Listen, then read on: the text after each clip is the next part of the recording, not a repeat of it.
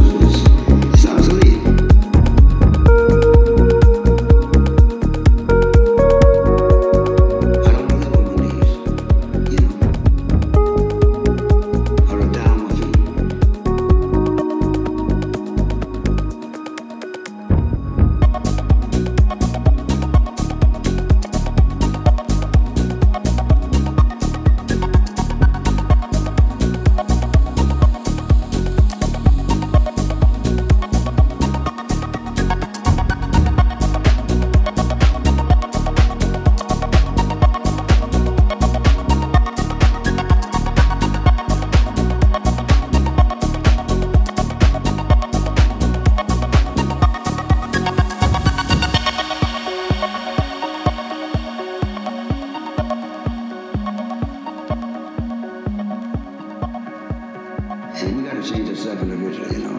You can't expect people to keep uh, changing for you.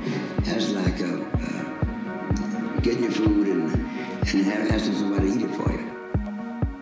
The same thing you gotta do yourself.